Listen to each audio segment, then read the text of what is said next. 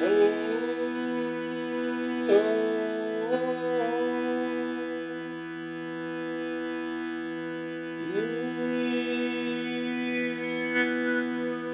na na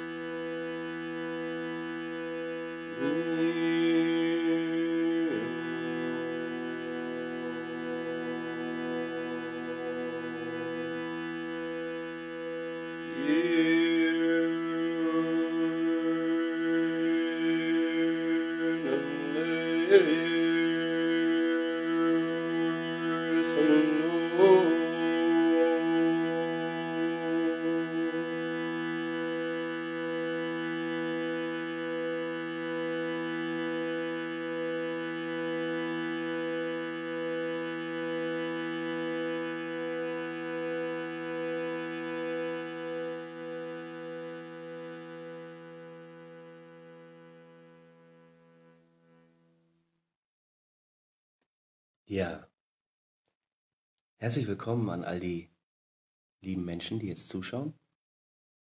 17 Stück sind es gerade. Schön, dass du dir die Zeit nimmst, für dich auch, jetzt vielleicht ein bisschen zur Ruhe zu kommen, dich zu entspannen. Vielleicht dieses Bild hier wirken zu lassen. Vielleicht hast du auch selbst Kerzen aufgestellt. Vielleicht hast du dir einen Tee gemacht oder einen Kakao und hoffentlich sitzt oder liegst du bequem und vielleicht nutzt du auch einen Kopfhörer. Vielleicht ist der Klang dann besser als über den normalen Lautsprecher am Smartphone oder am Computer. Ja, ich werde heute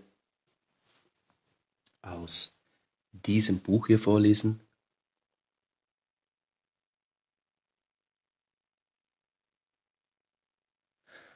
Von Jorge Bucay oder Jorge Bucay, je nachdem. Komm, ich erzähle dir eine Geschichte, heißt das Buch. Und ich finde, es ist sehr schön, die Geschichten darin. Und es ist einfach perfekt dafür, dass man auch nach eineinhalb Stunden dann spätestens aufhört, ohne dass man etwas verpasst hat, denn die Geschichten stehen für sich.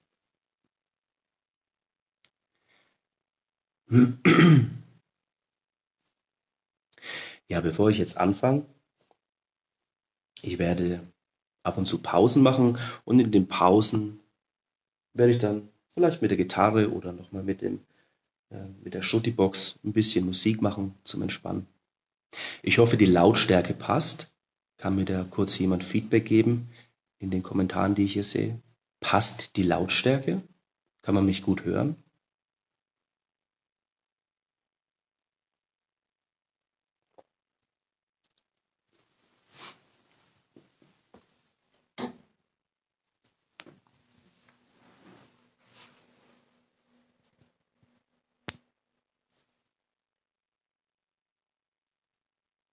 Ja, leider habe ich keinen Kommentar bekommen. Ah ja, David, vielen Dank, sehr gut.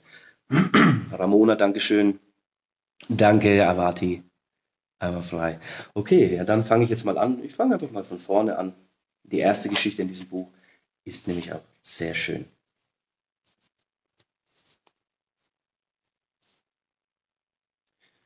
Der angekettete Elefant.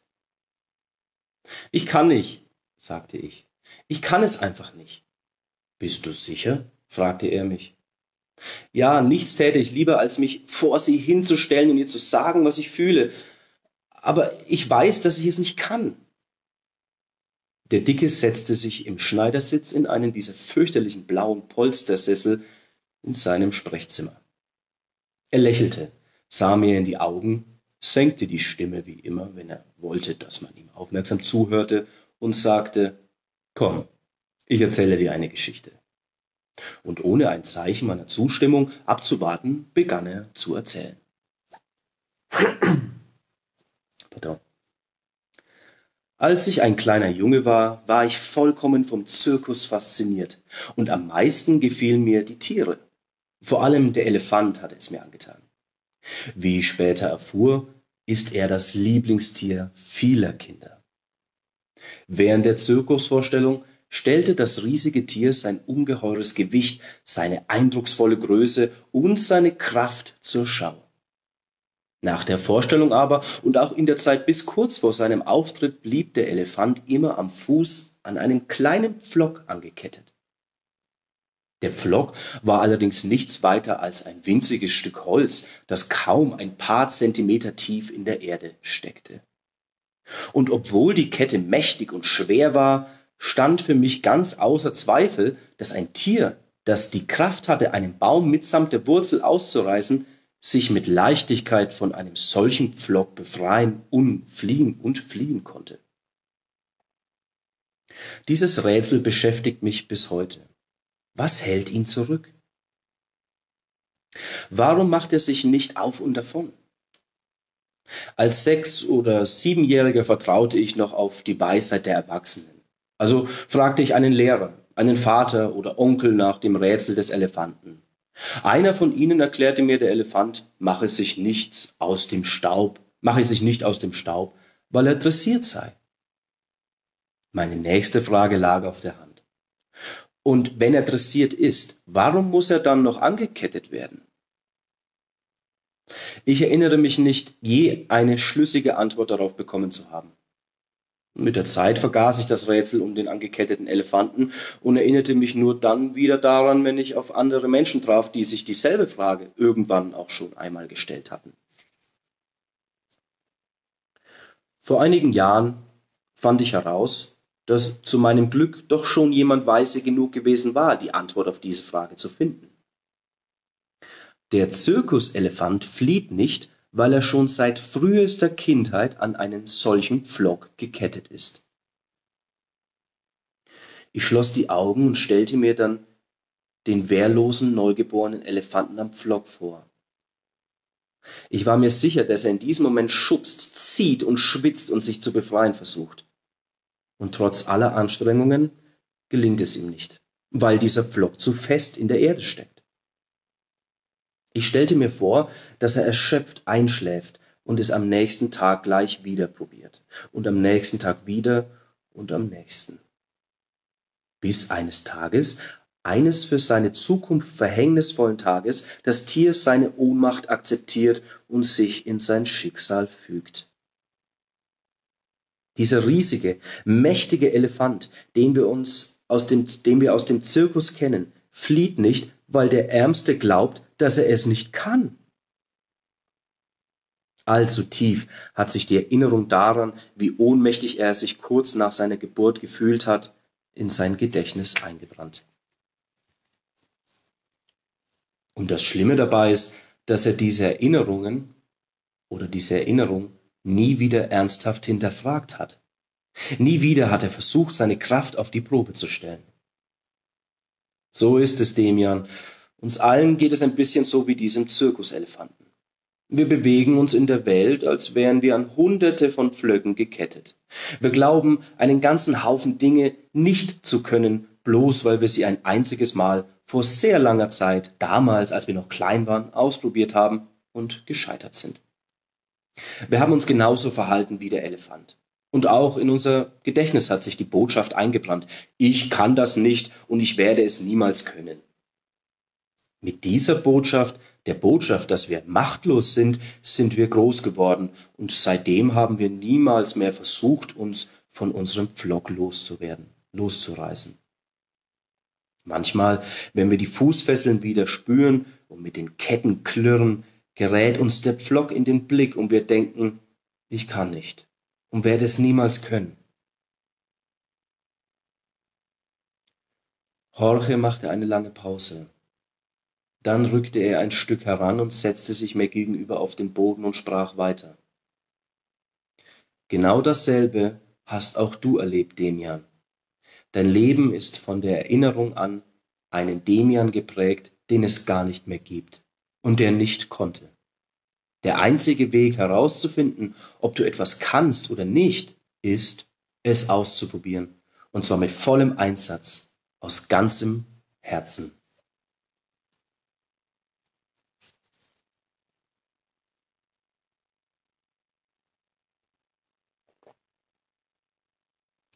Ja, wer kennt diese Geschichte nicht des Nichts Nichtkönnens?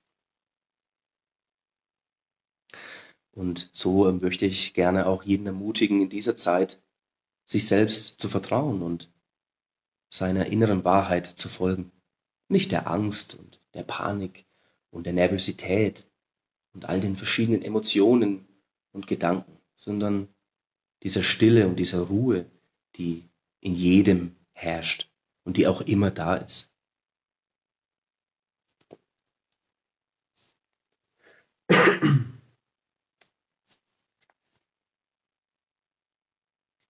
Verallgemeinerungsfaktor. Als ich zum ersten Mal in Jorges Sprechstunde ging, wusste ich, dass ich es nicht mit einem gewöhnlichen Psychotherapeuten zu tun haben würde. Claudia, die ihn mir empfohlen hatte, hatte mich gewarnt, dass der Dicke, wie sie ihn nannte, etwas speziell sei. Ich hatte die Nase bereits voll von den konventionellen Therapien, besonders davon, mich monatelang auf der Couch eines Psychoanalytikers herumzulangweilen.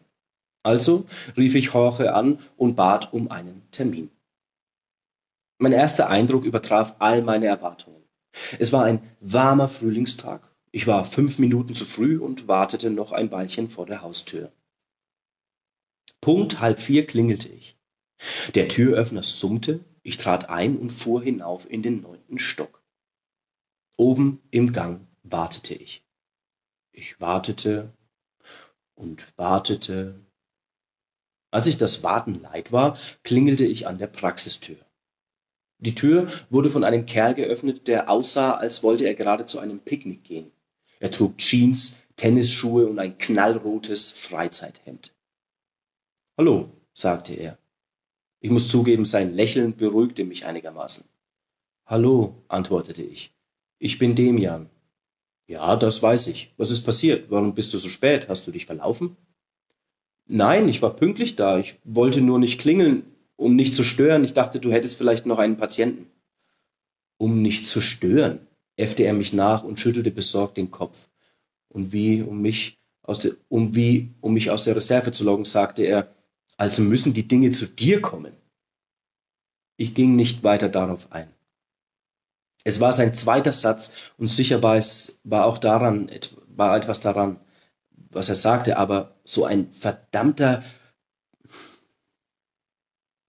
der Raum, in dem Jorge seine Patienten empfing und den ich nicht unbedingt Sprechzimmer nennen würde, war genau wie er. Informell, unordentlich, chaotisch, warm, kunterbunt unberechenbar und, warum es leugnen, ein bisschen schmuddelig.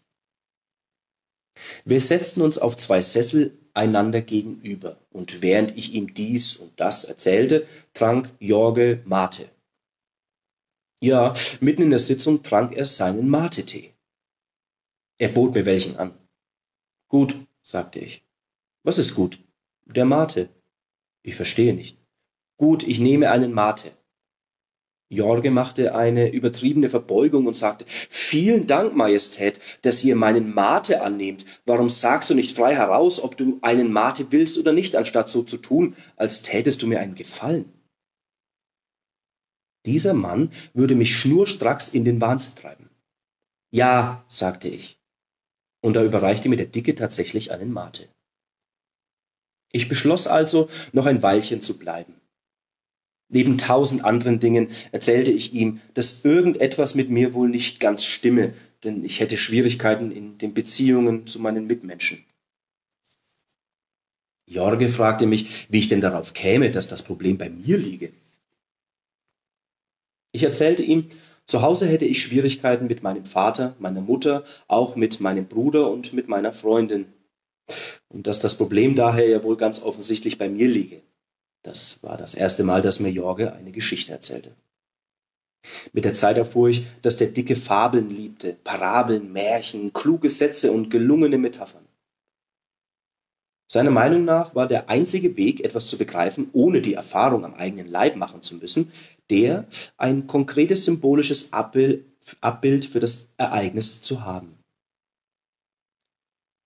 Eine Fabel, ein Märchen oder eine Anekdote, bekräftigte Jorge, kann man sich hundertmal besser merken als tausend theoretische Erklärungen, psychoanalytische Interpretationen oder formale Lösungsvorschläge.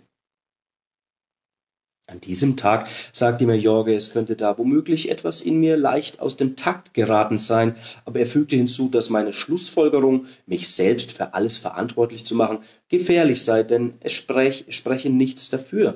Und dann erzählte er mir erzählt er mir eine dieser Geschichten, von denen man nie weiß, ob er sie tatsächlich selbst erlebt hat oder ob sie einfach seiner Fantasie entsprungen sind.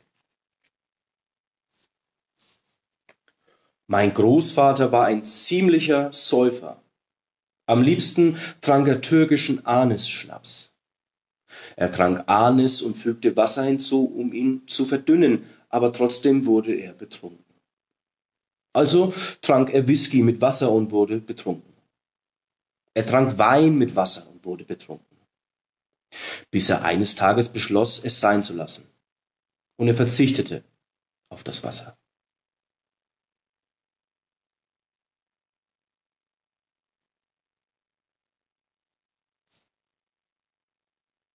Brust oder Milch. Nicht in jeder Sitzung erhält, erzählte Jorge eine Geschichte, aber aus irgendeinem Grund erinnere ich mich an fast jede einzelne der Geschichten, die er mir in den anderthalb, anderthalb Jahren meiner Therapie erzählt hat.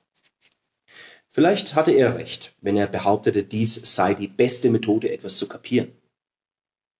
Ich erinnere mich noch an den Tag, an dem ich ihm sagte, dass ich mich sehr abhängig von ihm fühle ich erzählte ihm, wie sehr mich das störte und wie ich gleichzeitig nicht auf das verzichten könne, was er mir in jeder Sitzung mit auf den Weg gab. Nach meinem Eindruck hatten meine Bewunderung und Zuneigung für Jorge bewirkt, dass ich extrem von seinem Blick abhängig war und mich viel zu stark an die Therapie gebunden sah. Du hast Hunger zu lernen, Hunger zu wachsen, Hunger zu wissen, Hunger zu fliegen. Vielleicht bin ich heute die Brust, die jene Milch gibt, die deinen Hunger stillt. Es scheint mir wunderbar, dass du nun nach dieser Brust verlangst.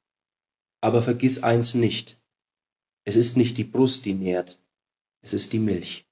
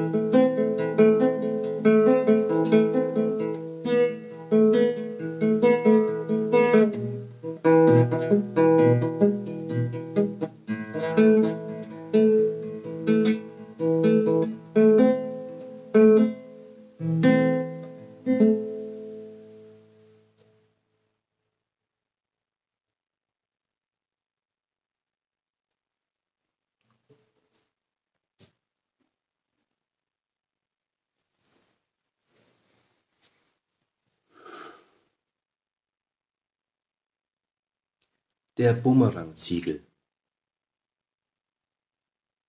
An diesem Tag war ich sehr aufgebracht. Ich hatte schlechte Laune und alles ging mir auf die Nerven. Mein Verhalten im Sprechzimmer war gereizt und wenig produktiv. Alles, was ich tat und alles, was ich besaß, war mir verhasst. Vor allem aber war ich wütend auf mich selbst. Wie in der Geschichte von Papini, die Jorge an diesem Tag für mich bereithielt, hatte ich das Gefühl, mich selbst nicht ertragen zu können. Ich bin ein Idiot, sagte ich, mehr zu mir selbst. Ein Riesenesel. Ich hasse mich. Na schön, Demian. Die Hälfte der Anwesenden in diesem Sprechzimmer hasst dich, die andere wird dir eine Geschichte erzählen. Es war einmal ein Mann. Der ging mit einem Ziegelstein in der Hand durch die Welt. Er hatte beschlossen, jedem, der ihm quer kam und ihn zur Weißglut brachte, einen Schlag mit dem Ziegelstein zu verpassen. Etwas barbarisch, diese Methode aber wirkungsvoll, nicht wahr? Eines Tages lief ihm ein ziemlich arroganter Freund über den Weg, der ihm etwas unmanierlich daherkam. Seiner Maßregel getreu griff der Mann nach seinem Ziegel und warf ihn. Ich weiß nicht, ob er getroffen hat. Tatsache ist, dass er anschließend den Ziegelstein wiederholen gehen musste und das war ihm lästig. Also setzte er alles daran, das System zur Wiedererlangung des Ziegelsteins, wie er es nannte, zu verbessern. Er band den Ziegelstein an eine Schnur von einem Meter Länge und trat damit auf die Straße. Das System hatte den Vorteil, dass sich der Ziegelstein nie allzu weit entfernte, aber bald stellte sich heraus, dass die neue Methode auch ihre Mängel hatte. Einerseits durfte sich die feindliche Zielperson nicht weiter als einen Meter von ihm entfernt aufhalten, andererseits musste er, nachdem er den Ziegelstein geworfen hatte, die Schnur wieder aufwickeln, weil sie sich schon, äh, weil sie sich oft verwirrte und verknotete, was noch zusätzliche Mühen mit sich brachte. Also machte sich der Mann an die Entwicklung des Systemziegel Nummer drei. Im Mittelpunkt stand weiterhin besagter Ziegelstein, aber dieses System war statt mit einer Schnur mit einer Sprungfeder ausgestattet. Der Ziegelstein konnte also unendlich oft abgeworfen werden und kam jedes Mal von selbst zurück. So war es zumindest geplant. Als der Mann mit dem neuen Modell auf die Straße trat und sich der ersten Anfechtung ausgesetzt sah, warf er den Ziegel. Er hatte sich verkalkuliert. Der Stein verfehlte sein Ziel, und nachdem sich die Feder ausgelöst hatte, kam der Ziegel zurück und traf unseren Mann genau am Kopf. Er versuchte es noch einmal und verpasste sich ein zweites Mal einen Ziegelschlag. Er hatte die Entfernung falsch berechnet einen dritten, weil er den Stein zu zeitig losgeschleudert hatte. Ein, ein vierter Versuch war von besonderer Natur, denn nachdem der Mann sich einmal für ein Opfer entschieden hatte, wollte er es zugleich von seinem ein nochmal. Ein vierter Versuch war von besonderer Natur, denn nachdem der Mann sich einmal für ein Opfer entschieden hatte, wollte er es zugleich vor seinem eigenen Angriff schützen, und so traf der Stein wiederum ihn, wiederum ihn selbst am Kopf wo er eine riesige Beule verursachte. Er fand nie heraus, warum es ihm nicht gelingen wollte, jemanden einen Ziegelstein an den Kopf zu werfen. Lag es an den vielen Schlängen? Äh, nochmal? Lag es an den vielen Schlägen, die er selbst hatte einstecken müssen, oder an irgendeiner seelischen Deformation? Alle ausgeteilten Schläge trafen stets ihn selbst. Einen solchen Mechanismus nennt man Retro Flexion. Dabei handelt es sich im Großen und Ganzen darum, andere vor unserer eigenen Aggression zu bewahren. In solchen Fällen hält unsere aggressive feindliche Energie, bevor sie den anderen erreicht, vor einer Barriere inne, die wir uns selbst auferlegt haben. Diese Barriere fängt den Aufprall nicht ab, sondern schickt die Energie einfach retour.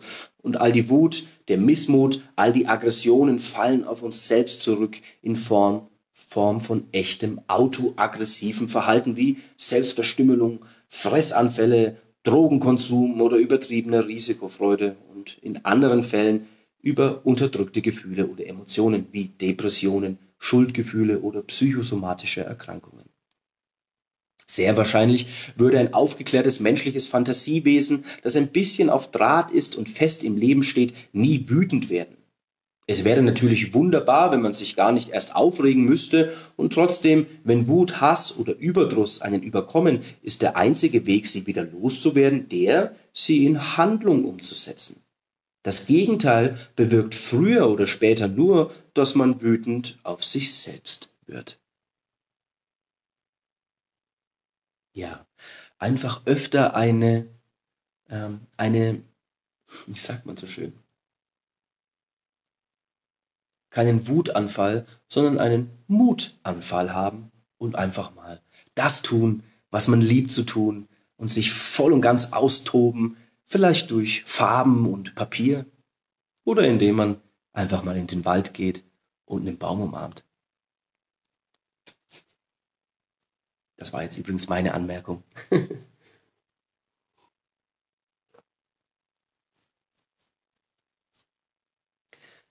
Der wahre Wert des Rings.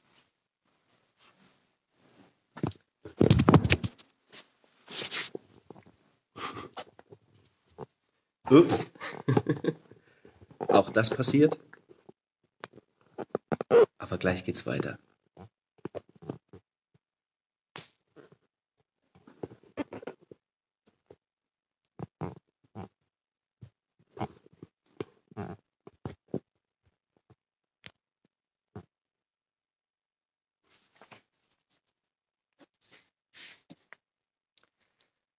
Der wahre Wert des Rings. Wir hatten darüber gesprochen, wie wichtig es ist, Anerkennung und Wertschätzung von außen zu bekommen.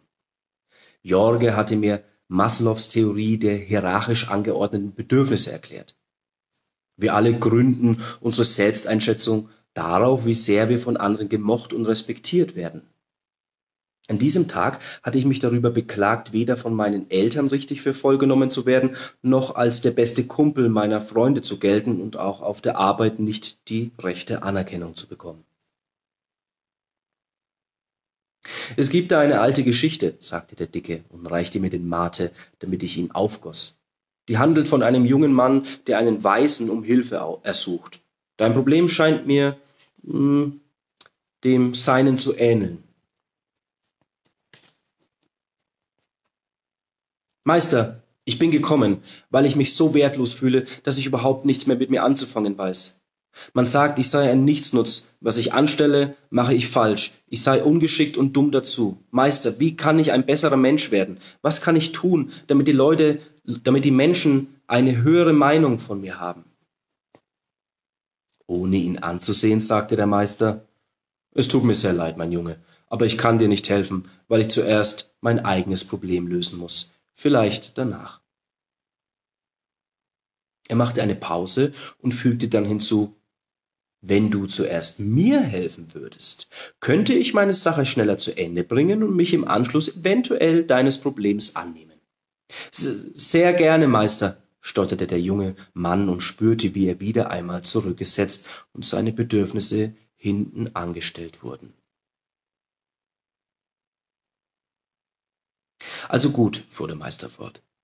Er zog einen Ring vom kleinen Finger seiner linken Hand, gab ihn dem Jungen und sagte, nimm das Pferd, das draußen bereit steht und reite zum Markt. Ich muss diesen Ring verkaufen, weil ich eine Schuld zu begleichen habe. Du musst unbedingt den bestmöglichen Preis dafür erzielen und verkauf ihn auf keinen Fall für weniger als ein Goldstück. Geh und kehr so rasch wie möglich mit dem Goldstück zurück. Und vergesse nicht, nicht für weniger als ein Goldstück verkaufen.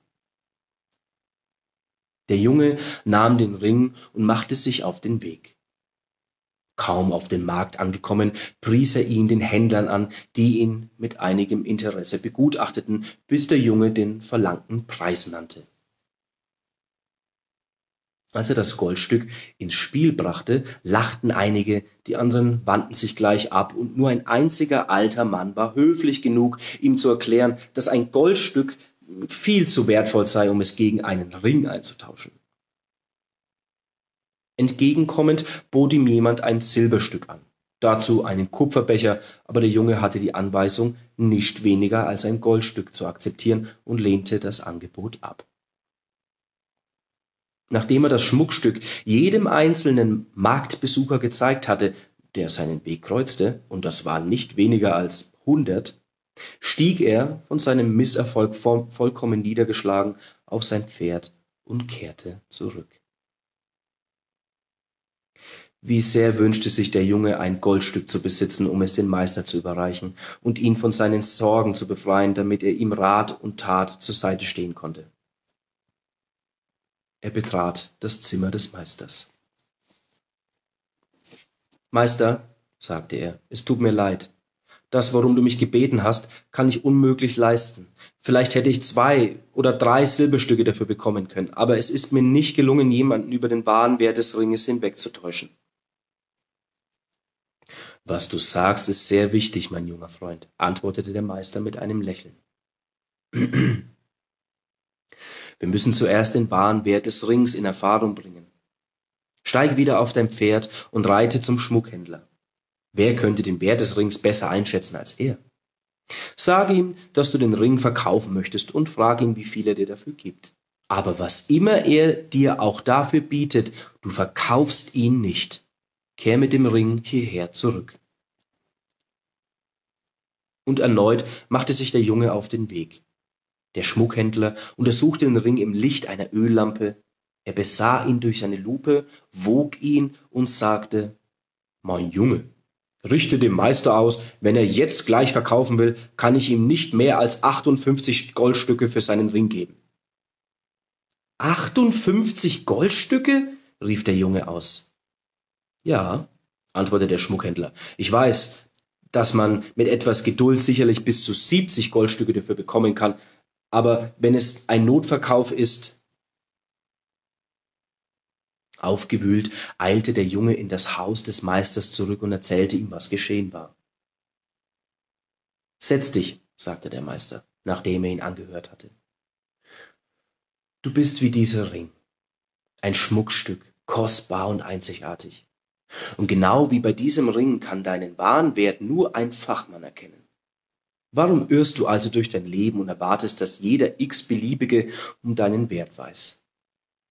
Und noch während er dies sagte, streifte er sich den Ring wieder über den kleinen Finger der linken Hand.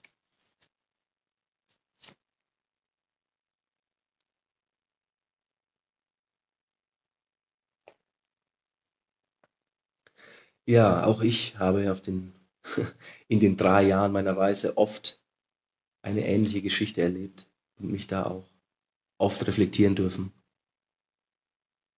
Und da möchte ich vielleicht einfach jeden gern mit auf den Weg geben, dass es total okay ist und auch wichtig ist und wertvoll ist für dich und für das Gegenüber, wenn man für seine hm, spirituelle, schamanische, geistliche, metaphysische Arbeit, für sein Wirken, egal wie es ist, auch den gewissen, ähm, die gewisse Anerkennung dafür bekommt. Und das funktioniert eben nur durch Integrität oder mit diesem wunderbaren Wort Selbstliebe. Und da geht es nicht darum, dass ich mich im Spiegel anschaue und mich liebe in meiner äußeren Hülle, sondern dass ich meinen eigenen inneren Wert einfach so, wie er ist, annehme, ihn akzeptiere, ihn ähm, nicht bewerte oder vergleiche, sondern einfach mich selbst, ja, schätze für das, was ich bin und was ich kann, was ich gesehen habe, was ich gelernt habe, was ich der Welt zu geben habe. Und ob ich jetzt jemand bin, der Brötchen beim Bäcker verkauft oder jemand, der im Internet ein Buch vorliest oder ein Mensch, der auf Reisen ist und sich mit Permakultur beschäftigt oder, oder, oder, oder, ist dabei absolut unwichtig, denn jeder hat genau das zu geben, was fürs große Ganze wichtig ist. Und was in vor allem, was vor allem in solchen Zeiten jetzt dann zum Vorschein kommt, nämlich der kann das, der kann das, der kann das und alle gemeinsam ist dann eigentlich alles vorhanden, was man so braucht, auch wenn mal die Geschäfte zu haben. Okay, nächste Geschichte. Der launenhafte König. Als ich den Mund aufmachte, fiel mir auf, wie hastig ich sprach. Ich war euphorisiert. Während meines Gesprächs mit Jorge wurde mir allmählich bewusst, was ich während der Woche alles getan hatte. Wie so manches Mal fühlte ich mich wie ein unschlagbarer Supermann, ein wahres Glückskind. Voll motiviert und strotzend vor Energie erzählte ich dem Dicken von meinen Plänen für die nächsten Tage. Der Dicke lächelte fröhlich und komplizenhaft. Ich hatte wie immer den Eindruck, dass dieser Mann mich in all meinen Seelenzuständen begleitete, mochten sie sein, wie sie wollten. Dass ich meine Freude mit Jorge teilen konnte, war ein weiterer Grund für mein Glück. Alles lief bestens und ich, schmied, ich schmiedete weiter Pläne. Für all das, was ich mir vorgenommen hatte, würden zwei Leben kaum ausreichen. Soll ich dir eine Geschichte erzählen? fragte Jorge. Obwohl ich mich kaum konzentrieren konnte, hörte ich zu. Es war einmal ein sehr mächtiger König, der regierte in einem fernen Land. Er war ein guter König, aber es gab da ein Problem.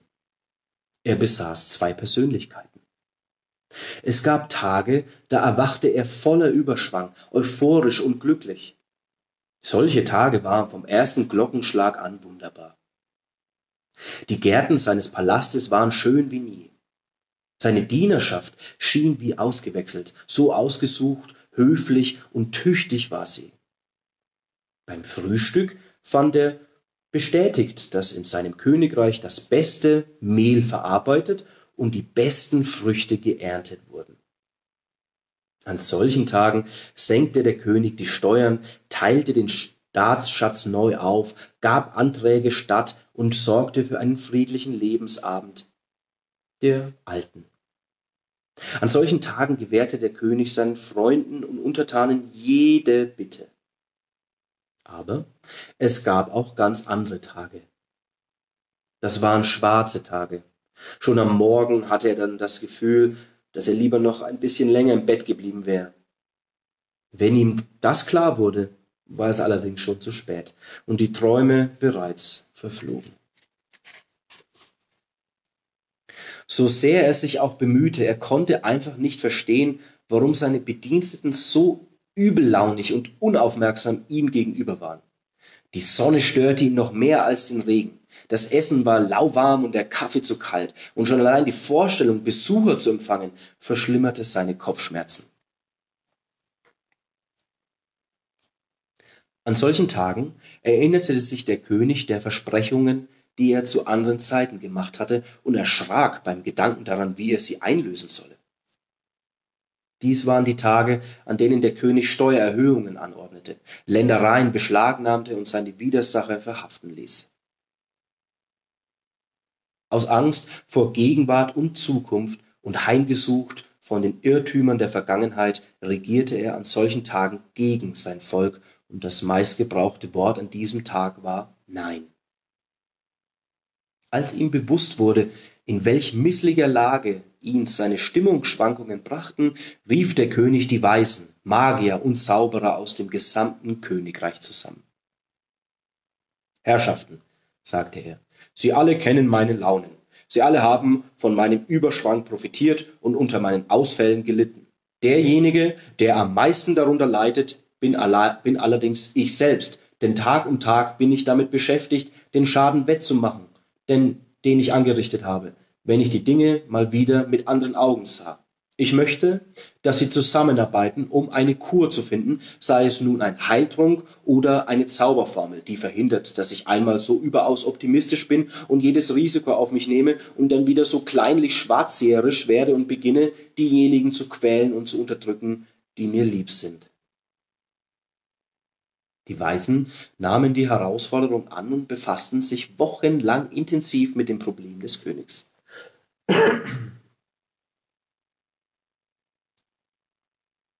Dennoch, keine Alchemie, keine Zauberkraft und kein Kraut konnte eine Lösung für die gestellte Aufgabe erbringen. Also traten die Weisen vor den König und gestanden ein, dass sie gescheitert waren. In dieser Nacht weinte der König bitterlich. Am nächsten Morgen bat ein fremder Besucher beim König vorsprechen zu dürfen. Es war ein seltsamer, dunkelhäutiger Mann, gehüllt in eine zerschlissene Tunika, die vielleicht einst weiß gewesen war. Majestät, sagte der Mann und verbeugte sich. Dort, wo ich herkomme, spricht man von eurer Unbill und davon, wie sehr sie euch quält. Ich bin gekommen, euch das Gegenmittel zu bringen.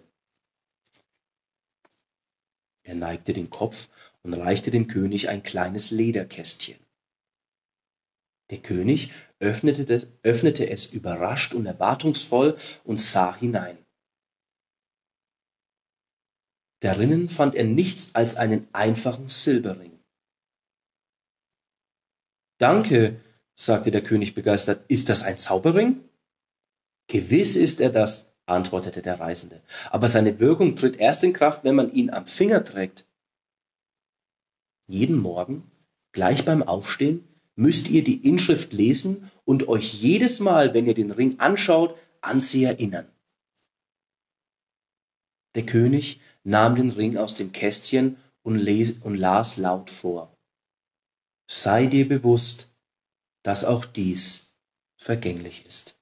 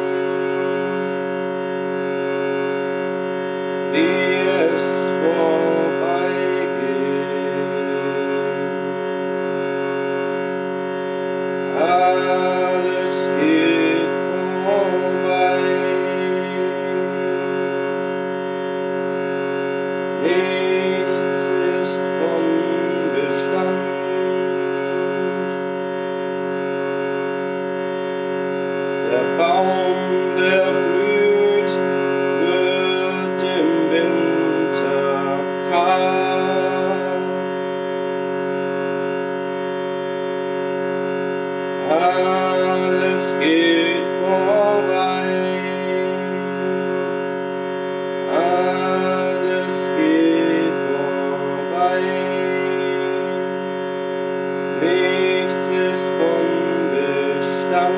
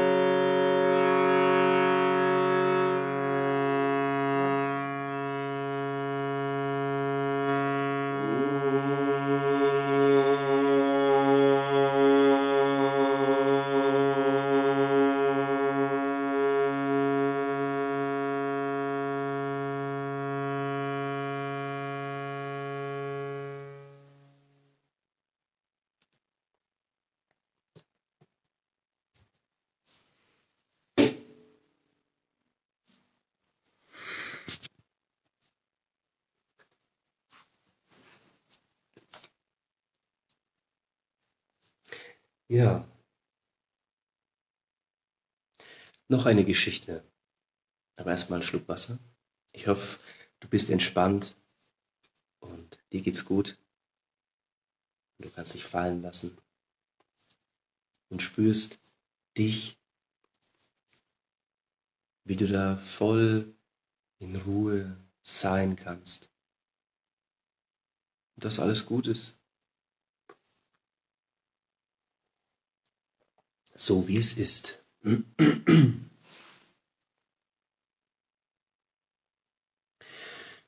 Die Fröschlein in der Sahne. Ich steckte mitten in den Prüfungen. Ich hatte mich für zwei im Nebenfach und eine im Hauptfach angemeldet. Der nächste Termin stand mir in einer Woche bevor und dafür blieb noch viel zu tun. Ich schaff das nicht, sagte ich zu Jorge. Es ist reine Energieverschwendung, sich mit etwas aufzuhalten, das sowieso aussichtslos ist. Am besten gehe ich einfach mit dem Wissen in die Prüfung, das ich jetzt habe. Und dann habe ich wenigstens nicht die ganze Woche mit Lernen vergeudet, wenn sie mich schließlich doch nur durchfallen lassen. Kennst du die Geschichte von den zwei Fröschlein? fragte mich da der Dicke.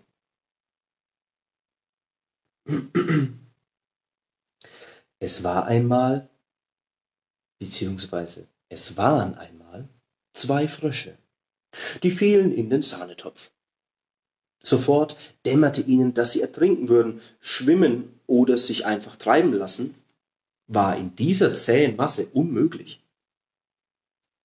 Am Anfang strampelten die Frösche wie wild in der Sahne herum, um an den Tropfrand zu gelangen. Aber vergebens. Sie kamen nicht vom Fleck und gingen unter. Sie spürten, wie es immer schwieriger wurde, an der Oberfläche zu bleiben und Atem zu schöpfen. Einer von ihnen sprach es aus. Ich kann nicht mehr. Hier kommen wir nicht raus. In dieser Brühe kann man nicht schwimmen. Und wenn ich sowieso sterben muss, wüsste ich nicht, warum ich mich noch länger abstrampeln sollte. Welchen Sinn kann es schon haben, aus Erschöpfung im Kampf für eine aussichtslose Sache zu sterben? Sagte es, ließ das Paddeln sein und ging schneller unter, als man gucken konnte, buchstäblich verschluckt vom dickflüssigen Weiß. Der andere Frosch, von hartnäckiger Natur, vielleicht auch nur ein bisschen dickköpfig, sagte sich, keine Chance, aussichtslos, aus diesem Bottich führt kein Weg heraus. Trotzdem werde ich mich dem Tod nicht einfach so ergeben, sondern kämpfen, bis zum letzten Atemzug. Bevor mein letztes Stündlein nicht geschlagen hat, werde ich keine Sekunde herschenken.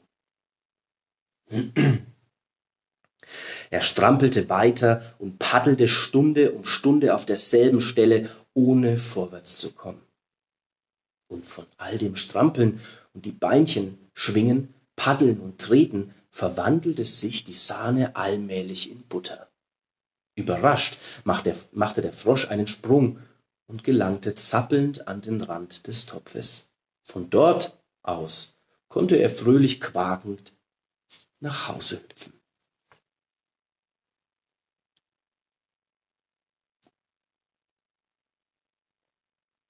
Ja, und auch bei dieser Geschichte fällt mir was ein. Nämlich gibt es oft diese Verwechslung im spirituellen Bereich, beziehungsweise vielleicht auf der Selbstfindung, auf der Selbstentdeckung. Nämlich gibt es ja Widerstände und ja, man soll, man sagt eigentlich, man sollte mit dem Fluss gehen, man sollte Widerstände, Widerstände sein lassen, sich selbst leben, vielleicht den einfachstmöglichen Weg gehen, eben wie das Wasser auch seinen Weg geht und von alleine diesen Widerstand dann irgendwann mit sich nimmt, beziehungsweise transformiert. Aber es gibt einen großen, großen Unterschied, nämlich zwischen Widerstand und ähm, Hürde. In dieser Geschichte zum Beispiel war es nicht unbedingt ein Widerstand, wo man einfach sagt, ach, ich gebe jetzt auf und jetzt habe ich Frieden und gehe unter, sondern bei einer Hürde geht es vielleicht darum, sich seinen Schatten, seinen Themen, die gerade da sind, zu stellen. Das heißt nicht, dass man in solchen Momenten dann aus seinem Kopf, aus seinem Bauch oder wie auch immer äh, aggressiv oder reaktiv oder ähm, schlau oder wie auch immer handeln sollte, sondern vielleicht geht es eher darum, dass man in diesem Moment der Hürde versteht, dass diese Hürde seinen, ihren Sinn hat und dass es dazugehört, um vielleicht dafür zu sorgen, dass die Sahne eben Butter wird. Und dass man sozusagen dann sich wieder erfreuen kann, sich erfreuen kann, den nächsten Schritt zu machen und sich erfreuen kann, einfach am Leben zu sein und zu verstehen, dass die ganze Energie, die man aufwendet für das Leben, für die, für das Erleben auch, ähm, alles immer seinen Sinn hat. Genau. Also ganz wichtig, es gibt einen Unterschied zwischen Hürde und Widerstand oder Blockade. Zumindest in meiner Welt. der Mann, der glaubte, er sei tot. Ich weiß, dass ich noch über die Geschichte mit dem Fröschen nachdachte. Das ist wie in einem Gedicht von Alma Fuerte, sagte ich. Gib dich nicht verloren, selbst wenn du verloren bist. Kann sein, sagte der Dicke. Ich glaube allerdings, hier geht es eher um so etwas wie Gib dich nicht verloren, bevor du verloren bist. Oder aber erklär dich nicht zum Verlierer, bevor der Moment der letzten Abrechnung gekommen ist. Weil, und da war sie schon, die nächste Geschichte. Es war einmal ein Mann, der enorme Angst vor Krankheiten hatte. Und vor allem fürchtete er sich sehr vor dem Tod. Eines Tages kam ihm die verrückte Idee, dass er eventuell schon tot sei. Also, also fragte er seine Frau. Sag mal, Frau, bin ich etwa schon tot? Die Frau lachte und riet ihm, zur Probe seine Hände und Füße anzufassen. Siehst du, sie sind warm. Das bedeutet, dass du lebendig bist. Wenn du tot wärst, wären deine Hände und Füße kalt. Dem Mann schien die Antwort plausibel und er beruhigte sich. Wenige Wochen später, an einem verschneiten Wintertag, ging der Mann zum Brennholzhacken in den Wald. Dort angekommen, zog er die Handschuhe aus und machte sich mit der Axt an den Stämmen zu schaffen. Gedankenlos wischte er sich mit der Hand über die Stirn und bemerkte, dass sie kalt war. Er erinnerte sich an die Worte seiner Frau, zog die Schuhe und Socken aus und fand zu seinem Entsetzen bestätigt, dass auch sie kalt waren. Da zweifelte er nicht eine Sekunde mehr.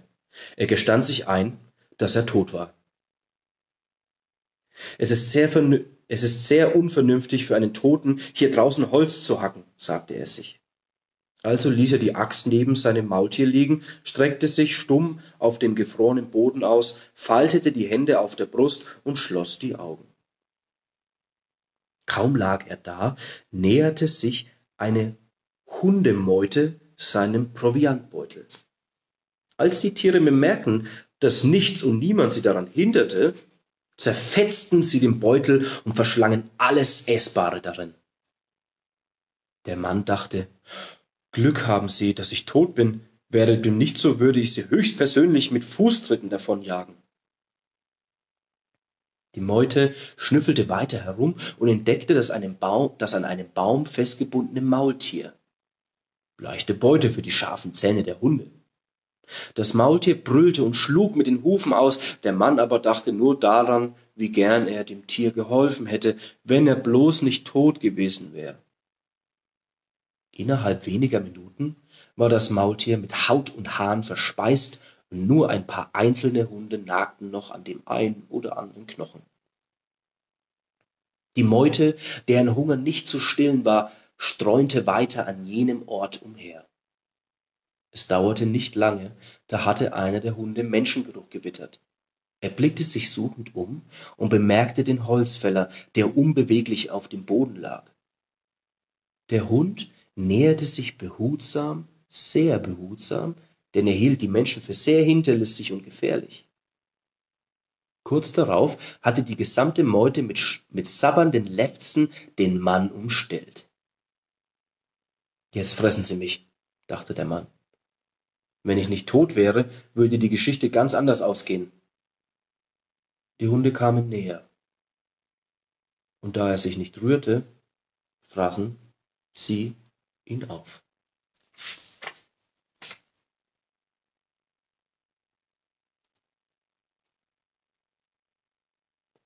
Ja, Angst, was ja meist nur eine Illusion ist, nämlich sind, ist eine Angst im gröbsten Sinne eine angenommene Gräuel der Zukunft, die man sich ausdenkt. Und wenn man darin verharrt, was man manchmal auch nicht kontrollieren kann, aber dennoch sich befreien kann, zum Beispiel durch Atem, sich hinsetzt und tief durchatmet, sich berührt, sich anfasst, dann spürt man, dass diese Angst eigentlich nur im Kopf stattfindet. Und dass die Angst, die wir körperlich haben, eher sowas wie Instinkt ist, wie auch berechtigt ist und die ihren Sinn hat, die den, Intellig Intellig äh, den Intellekt fördert, das Überleben sichert und ja, einfach dafür sorgt, dass wir uns weiterentwickeln. Ja, wie viel Uhr haben wir denn? Schau ich mal. Eine halbe Stunde haben wir noch. Ich mache noch mal kurz was mit der Gitarre, meine Stimme ein bisschen schonen. Vielleicht mache ich auch früher Schluss. Aber erstmal ein bisschen zupfen.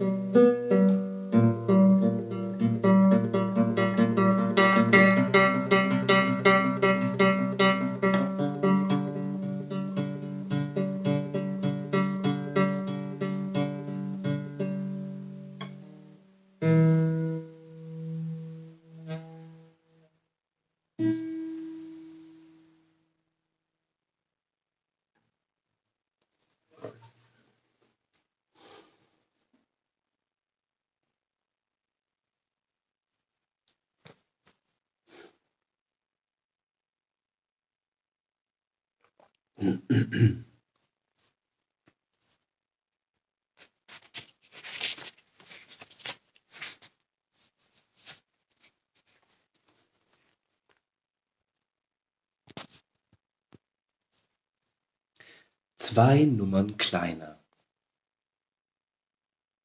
Für diesen Tag hatte ich ein Thema vorbereitet.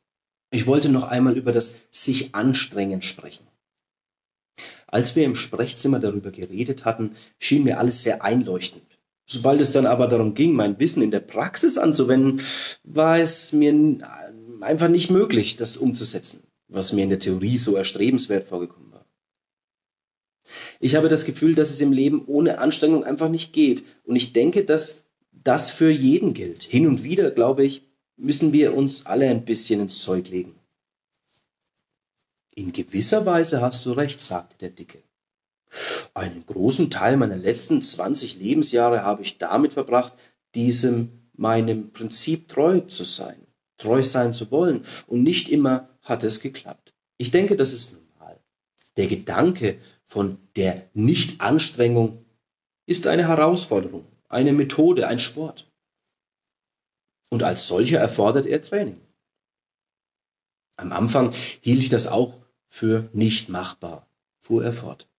Was würden die Leute von mir denken, wenn ich nicht zu dieser Veranstaltung ginge, wenn ich mich, wenn ich nicht aufmerksam zuhörte, obwohl es mich einen feuchten Kehricht interessierte, was sie sagten, wenn ich mich dem Menschen, den ich eigentlich verachtete, nicht dankbar gegenüber zeigte, wenn ich einfach Nein sagte zu einem Antrag, dem ich partout nicht zustimmen mochte, wenn ich mir den Luxus erlaubte, nur vier Tage in der Woche zu arbeiten und darauf verzichtete, mehr Geld zu verdienen, wenn ich unrasiert durch die, durch die Welt spazierte, wenn ich mich weigerte, mit dem Rauchen aufzuhören, bevor es mich nicht von selbst überkäme, wenn Irgendwann habe ich geschrieben, dass dieser Gedanke von der notwendigen Anstrengung nur eine gesellschaftliche Erfindung sei, die einer bestimmten Vorstellung entspringt, einem ideologischen Denksystem, das ein sehr negatives Bild vom Menschen als sozialem Wesen hat. Klar, dass der Mensch als das unentschlossene, bösartige, egoistische und gleichgültige Wesen, für das er gemeinhin gilt, sich ziemlich anstrengen muss, um sich zu, besser, um sich zu bessern. Aber wer behauptet denn, dass der Mensch so ist? Ich hörte fasziniert zu. Nicht so sehr wegen dem, was Jorge sagte, sondern weil ich versuchte, mir meine eigene Vorstellung davon zu machen, was es heißen könnte, entspannt zu leben, eins mit sich selbst zu sein, ruhig und ohne Druck, ohne sich immer wieder fragen zu müssen, was tue ich hier eigentlich? Aber wo anfangen?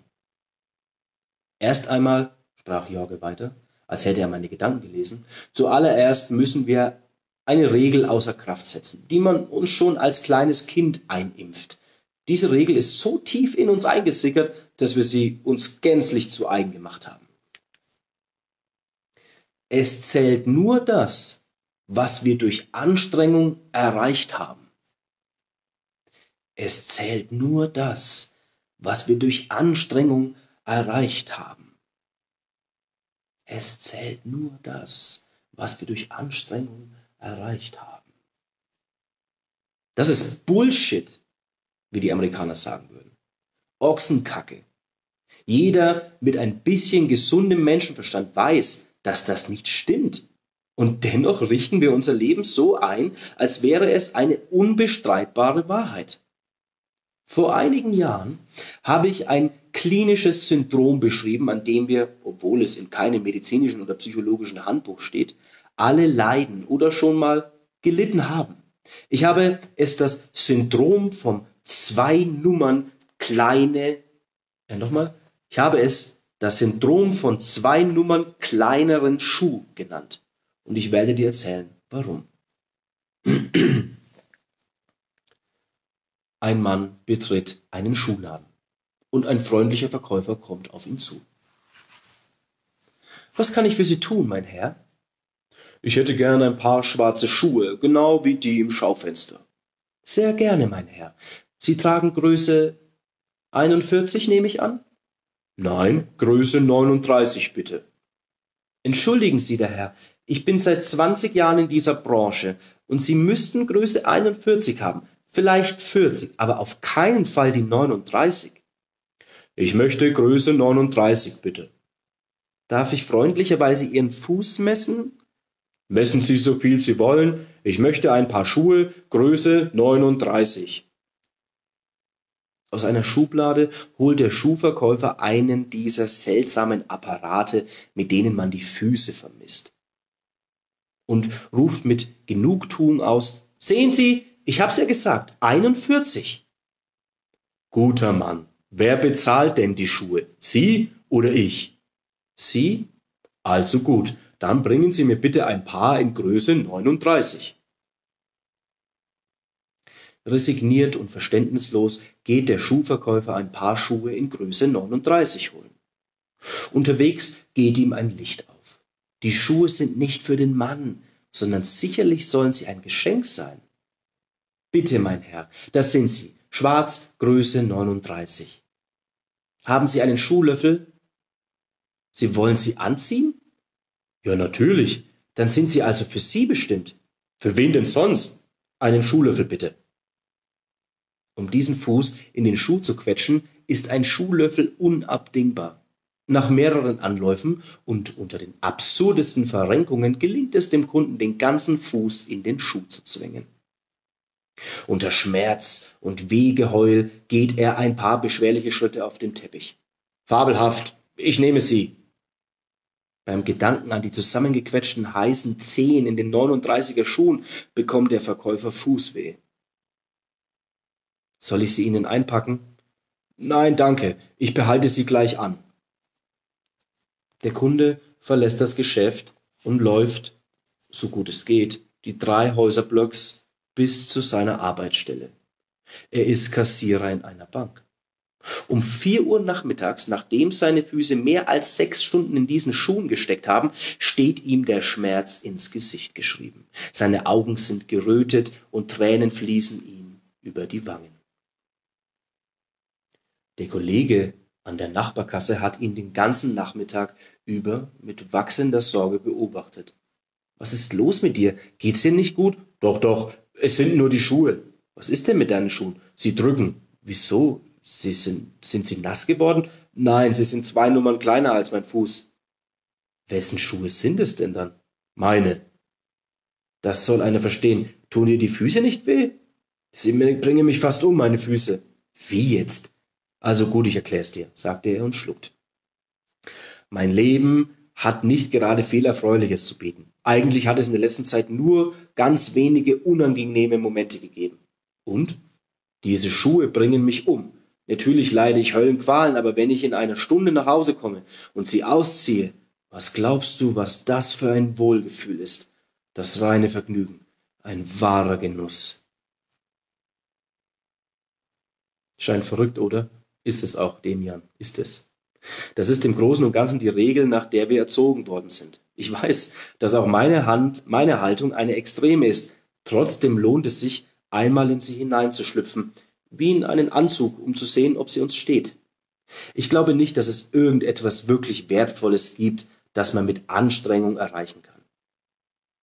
Mit dem Gedanken an seinen letzten unflätigen, aber überzeugenden Satz verließ ich die Sprechstunde. Sich anstrengen? Ja, muss man, wenn man Verstopfung hat.